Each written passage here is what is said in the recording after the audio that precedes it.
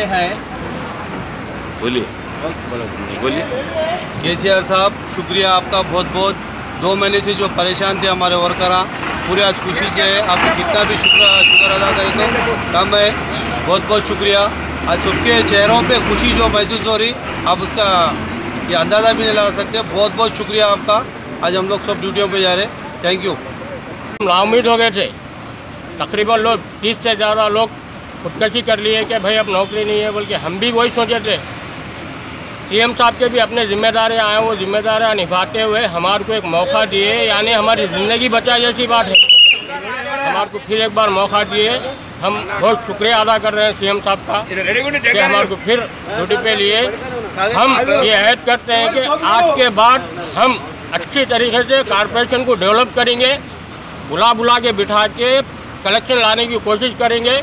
अब तक के जो लास्ट हुआ लास्ट हुआ बोल रहे हैं, हम लास्ट होने की कोशिश नहीं करेंगे। लास्ट तो वर्कर की तरफ़ से नहीं हुआ, फिर भी हम पूरी कोशिश करेंगे, ये कहते हुए डीएम साहब का शुक्रिया अदा करता हूँ।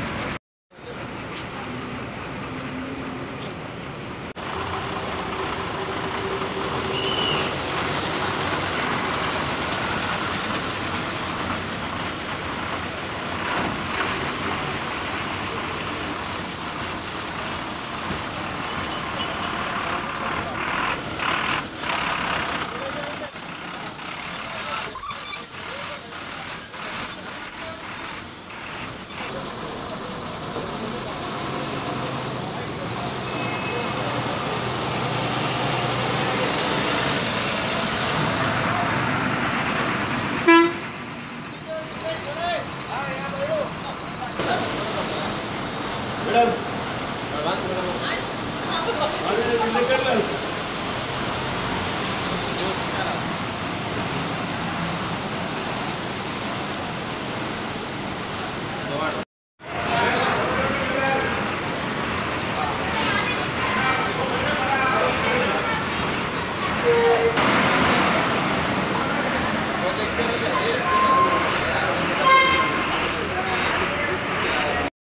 वालेकुम बहुत खुशी की बात है। सब लोग जो है सो चौपल दिल के बाद वीडियो पे वापस आए हैं। के सी आर साहब का शुक्रिया अदा करते हैं। लेकिन हमारा दुख ये है कि के सी आर साहब बोले, भाई तेलंगाना का बेटा हूँ, बड़े भाई का वैसा बोल रहा हूँ, बोले। लेकिन ये नहीं बोले कि तीन महीने से परेशान है, तनख्वाह आप लोग ले लो बोल के नहीं बोले। और सितंबर की तनख्वाह का कुछ भी नहीं बोले।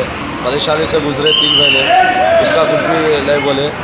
और जो है सो, और एक बात क्या है बोले तो अपील पहले से जो भी हम लोग परेशान थे, वो तनख्वाह अगर दिला देते तो बहुत अच्छी बात रहती थी। अब जैसा भी ड्यूटी पे आए अलहमदिल्ला अल्लाह का बहुत बहुत शुक्र है। ठीक है। गुड मॉर्निंग सर ఇట్లాంటి నిర్ణయం చేస్తారని మేము కల్లో అనుకోలేదు కానీ మంచి సలహా ఇచ్చి మంచి మన డ్యూటీలు పంపించినందుకు మాకు చాలా సంతోషంగా ఉంది. రెండు నెలల కాలానికి వాళ్ళ వరకు మేము ఆయన కోరేది. అదే మా డిమాండ్స్ ఇలాగే చిన్న చిన్నగా తీర్చాలని కోరుకుంటున్నాం. సార్ మేము happy sir. KCR CR sir మాకు మంచి సరైన టైంలో సరైన నిర్ణయం తీసుకుంది సార్. థ్యాంక్ యూ నిన్నటి నుంచి ప్రాణం పోయి ప్రాణం వచ్చినట్టు అయింది సార్ మీకు మరీ మరీ ధన్యవాదాలు. మా డ్యూటీలు మాకు సంతోషంగా